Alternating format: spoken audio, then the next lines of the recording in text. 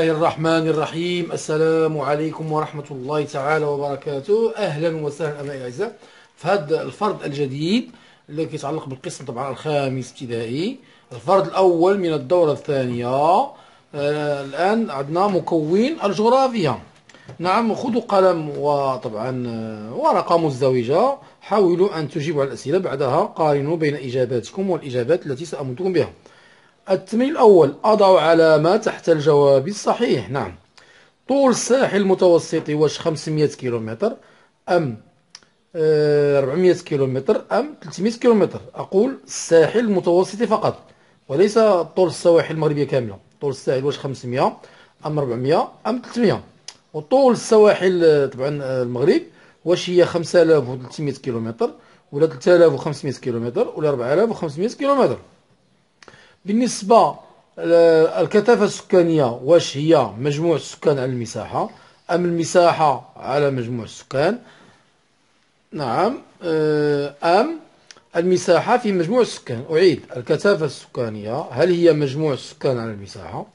أم المساحة على مجموع السكان؟ أم المساحة آه، ضرب آه، مجموع السكان. هذا طبعا بالنسبة للتمرين الأول. التمرين الثاني التمرين الثاني يقول هنا أحدد أنواع الأنشطة التي تمارس في الموانئ المغربية.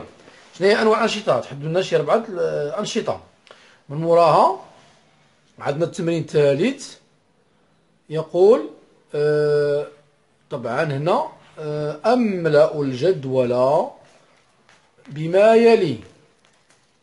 عندنا هنا الموانئ. طبعا الموانئ عندنا الأكادير الحسيمة والجرف الأصفر والناظور ثم العيون ثم طنجة المتوسط. إذا هنا موانئ على الساحل المتوسط عنده هنايا. وهنا موانئ على الساحل الأطلنطي عنده في هذه الخانة. نعم هذا بالنسبة للتمرين الثالث. نمر إلى التمرين الموالي طبعا اللي هو تيقول لنا التمرين الرابع. تقول لنا هنا آه، أصل بخط بين كل عبارة والإجابة التي تناسبها. نعم. إذا هنا عندنا الكثافة السكانية مرتفعة هنا الكثافة السكانية منخفضة. هنا تضاريس منبسطة وسهول خصبة مناخ صحراوي جاف سفوح شديدة الانحدار مناخ معتدل جبال عالية جبال عالية. إذا آه، طبعا هذه آه، التمرين الرابع. الآن طبعا آه، سنمر إلى المرحلة الموالية اللي هي طبعا مرحلة التصحيح. نعم مرحلة التصحيح. إذا هنا عندنا أضع علامة تحت الجواب الصحيح. طول الساحل المتوسطي هو 512 500 وكاين طبعا في بعض الكتب 512 بالضبط 512 ماشي 400 ماشي 300 ثم طول السواحل المغرب هو واش 5300 أو 3500 اذا 3500 هي الجواب الصحيح 3500 هذه. 3500 هي اللي جواب صحيح. الكثافة السكانية واش هي مجموع السكان على المساحة؟ أم مجموع المساحة على مجموع السكان أم المساحة في مجموع السكان؟ هذه هي اللي صحيحة. هي مجموع السكان على المساحة. مجموع السكان على المساحة. نعم. الآن سنمر إلى آه، التمرين الثاني. هو أحدد أنواع الأنشطة التي تمارس في الموانئ. إذا المغربية. إذا كاين النشاط آه، آه، ديال التجارة. التجارة. ثم كاين الصيد البحري. هذه معروفة. الصيد البحري. وعندنا الصيد البحري في أعالي البحار والصيد الساحلي ثم عندنا نشاط ديال نقل المسافرين نقل المسافرين. نعم نقل المسافرين. ثم عندنا طبعا للترفيه للترفيه. نعم ثاني للترفيه. نعم.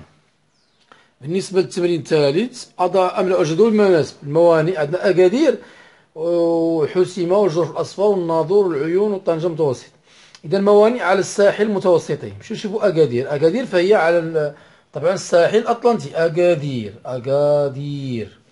ثم الحسيمة الحسيمة في الساحل المتوسطي الحسيمة نعم هنا الحسيمة الجرف الأصفر في الساحل الأطلنطي. الجرف الأصفر. نعم الجرف الأصفر. الناظور فهذا متوسطي. الناظور. العيون فهو آه، طبعا آه، أطلنطي. طنجة المتوسط طنجة فهو آه، عفوا نديرو طنجة نعم طنجة المتوسط فهو في الساحل المتوسطي طنجة المتوسط. نمر إلى التمرين الموالي والذي هو تمرين مهم بزاف خصنا نعرفه به غنعرفو إن شاء الله. إذا التمرين الرابع فطبعا كثافة السكانية قلنا مرتفعة كثافة سكانية طبعا منخفضة. هنا تضاريس منبسطة وسهول خصبة. إذا خصنا نعرفوا ما هي الأسباب تجعل الكثافة واش مرتفعة؟ أو منخفضة. مناخ صحراوي جاف سفوح شديدة الانحدار مناخ معتدل ثم جبال عالية. هذه هي الأسباب آه نعم الظروف التي تجعل واش كل كثافة السكانية مرتفعة كثافة سكانية منخفضة. إذا خصنا نحاولوا نجاوبوا على التمرين وفي نفس الوقت نحاولوا نحفظوها. نعرفوا إذا تضاريس منبسطة وسهول خصبة هذه تكون فيها كثافة مرتفعة. كثافة مرتفعة نعم. مناخ صحراوي جاف. طبعا مناخ صحراوي جاف إذا قلة المياه فهذا كيدل على تكون كثافة منخفضة. كثافة منخفضة. ثم عندنا آه، سفوح شديد الانحدار. سفوح شديد الانحدار. طبعا هنا السكن يكون قلال. إذا كثافة منخفضة. ثم عندنا مناخ معتدل. مادام أن مناخ معتدل فكيتميز في فصل الشتاء بأمطار غزيرة. هذا غتكون كثافة مرتفعة لأن وجود الأمطار وهذا. آه، ثم عندنا هنا جبال عالية. فالجبال العالية تكون كثافة سكانية منخفضة. أصلا ما كاينش حتى الأراضي لبناء السكن وطبعا الاستغلال ديال الأراضي. إذا هذا طبعا بالنسبة للتمرين الرابع وخصنا نحاول نحفظوا هادو هما. حفظوا أن الكثافة السكانية المرتفعة الأسباب ديالها هو تضاريس منبسطة سهول منخفضة. كذلك مناخ معتدل يساهم في تشكيل كثافة مرتفعة إيه، كثافة السكانية منخفضة السبب هو مناخ صحراوي جاف.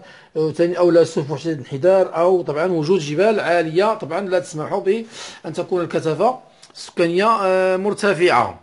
أتمنى تكونوا فهمتوا هذا طبعا هذا. آه، موعدنا إن شاء الله مع الفرد طبعا الفرد الموالي ديال التربية المدنية.